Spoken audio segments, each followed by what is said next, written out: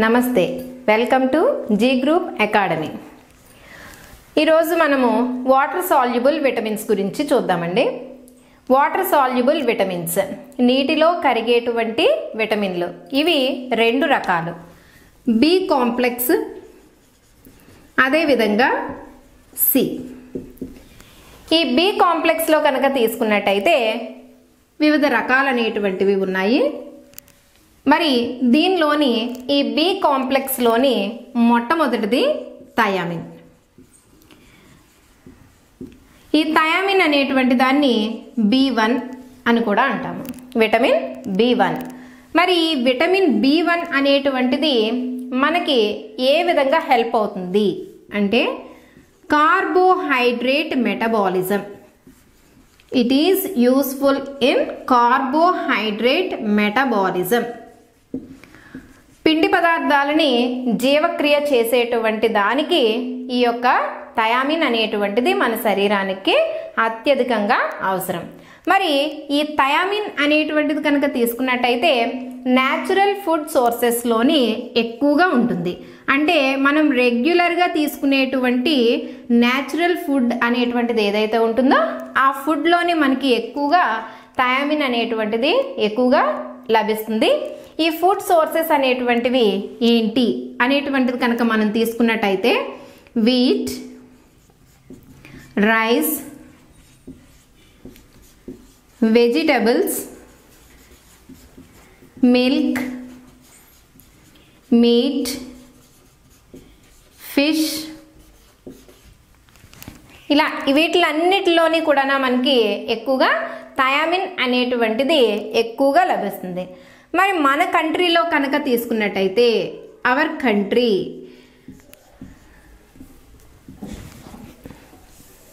మన కంట్రీలోని కనుక తీసుకున్నట్టయితే ఫుడ్ అనేటువంటిది అంటే ఈ ఫుడ్ సోర్సెస్లోని ఎక్కువగా వీట్ రైస్ని అడల్ట్స్ ఎక్కువగా తీసుకుంటాం.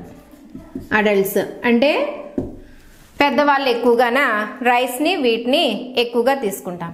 అదేవిధంగా ఇన్ఫాంట్స్ అంటే బేబీస్లో కనుక తీసుకున్నట్టయితే మిల్క్ని ఎక్కువగా తీసుకుంటాం.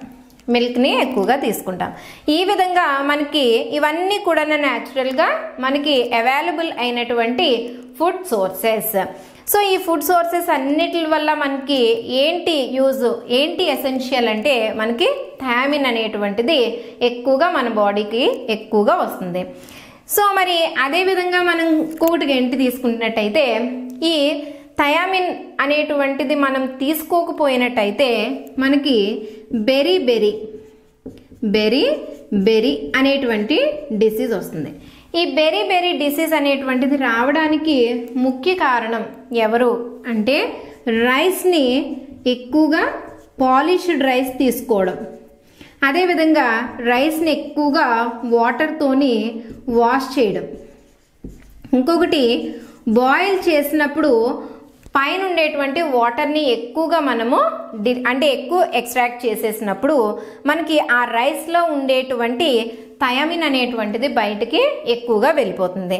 సో మనం ఎక్కువగా పాలిష్డ్ రైస్ తీసుకున్నప్పుడు అదేవిధంగా వాటర్ అంటే రైస్ని తరౌలీ వాటర్ అనేటువంటిది ఎక్కువగా యూజ్ చేసి వాష్ చేయడం వలన అదేవిధంగా బాయిల్ చేసినప్పుడు వాటర్తో అంటే మనము రైస్ కుక్ చేసుకునేటప్పుడు ఆ పైన ఉండేటువంటి వాటర్ని ఎక్కువగా తీసేస్తూ ఉంటాము.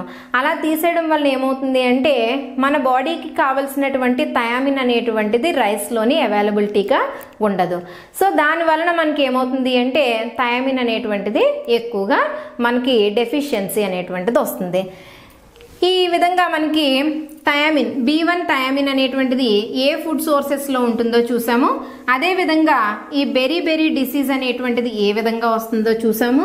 అంటే ఎక్కువ పాలిష్డ్ రైస్ తీసుకోవడం వలన ఈ బెరీ బెరీ డిసీజ్ వస్తుందని చూసాము. ఇంకా మనకి కొన్ని డెఫిషియన్సీస్ అంటే కొన్ని డిసీజెస్ అనేటువంటివి కూడా రావడం అనేటువంటిది జరుగుతుంది. అవేంటో చూద్దాము. సో ఇక్కడికి వచ్చేటప్పటికి ఏంటి అంటే కాఫ్ మజిల్స్ అంటే కాఫ్ మజిల్స్ అంటే ఏంటి అంటే పెక్క కండరాలు అని అంటాము. ఈ పెక్క కండరాలు ఏంటి ఏంటి అంటే ఈ మనకి థై రీజియన్ ఎక్కడైతే ఉంటుందో ఆ థై రీజియన్ దగ్గర ఉండేటువంటి మజిల్స్ అనేటువంటివి ఏమైపోతాయి అంటే టెండర్ దట్ మీన్స్ దగ్గరగా ఫామ్ అయిపోతాయి. సో అందుకనే దీన్ని ఏమని పిలుస్తున్నామంటే కాఫ్ మజిల్ టెండర్ అని అంటాము. పెక్క కండరాలు అనేటువంటివి సంకోచించుకోవడం అనేటువంటిది జరుగుతుంది. దేనివలన థయామిన్ యొక్క లోపం వలన.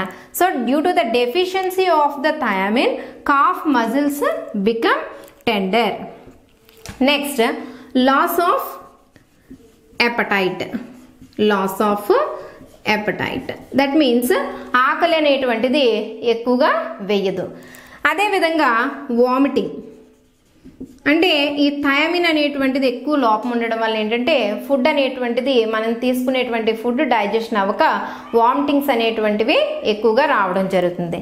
Next convulsions. కన్వల్షన్స్. ఈ కన్వల్షన్స్ అంటే ఏంటి అంటే fits. Convulsions means fits. Fits అనేటువంటిది కూడా రావడం జరుగుతుంది because of thiamine deficiency. Thiamine లోపం వలన ఫిట్స్ అనేటువంటిది కూడా రావడం కూడా మనం ఎక్కువగా గమనిస్తూ ఉంటాము. అదేవిధంగా షివరింగ్. షివరింగ్ కూడా వస్తుంది. అంటే వీక్ అయిపోతాయి. వీక్ అయిపోవడం వల్ల మనకి షేక్ షివరింగ్ అంటే వణుకు అనేటువంటిది కూడా రావడం గమనిస్తాము.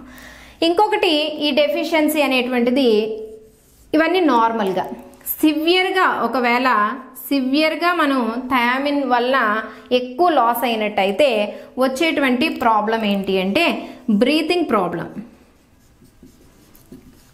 బ్రీతింగ్ అనేటువంటిది ఎక్కువగా తీసుకోలేవన్నమాట.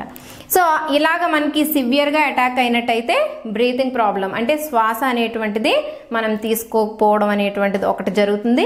అదేవిధంగా ఇవన్నీ కూడా మనకి థయామిన్ అనేటువంటిది సరిగా తీసుకోకపోవడం వలన వచ్చినటువంటి వ్యాధులు అనేటువంటివి ఇక్కడ గమనిస్తున్నాము. మరి ఈ బి కాంప్లెక్స్లోని బి వన్ చూసాం కదండి. నెక్స్ట్ క్లాస్లోని బి టూ అనేటువంటిది చూద్దాం.